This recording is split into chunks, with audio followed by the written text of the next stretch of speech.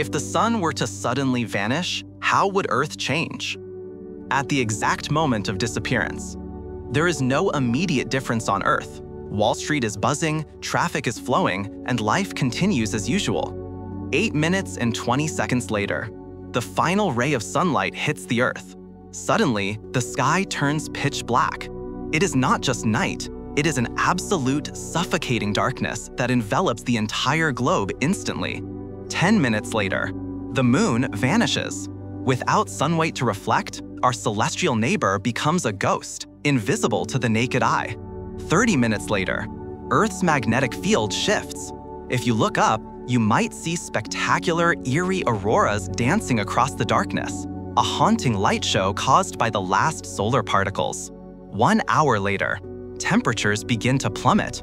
Panic sets in. Social media explodes with confusion before the internet flickers and dies. The power grid strains under the load. 24 hours later, the dawn never comes. The president declares a global state of emergency. The New York Stock Exchange is suspended indefinitely. Looting begins in major cities as people raid supermarkets for canned food. Scientists at NASA scramble for answers, but the truth is terrifying the sun is simply gone. One week later, photosynthesis stops. The global power grid collapses. Temperatures drop to 14 degrees F. The preppers were right.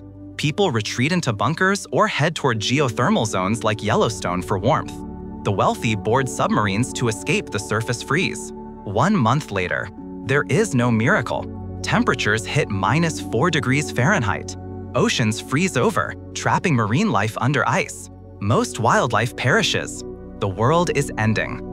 Six months later, surface temperatures hit minus 58 degrees Fahrenheit. Earth is a frozen wasteland. 99% of life is extinct. One year later, it is minus 148 degrees Fahrenheit. The oceans are solid ice at the surface, but deep volcanic vents keep lower depths liquid. This is the last refuge of life, microbes and humanity's remnants living in darkness.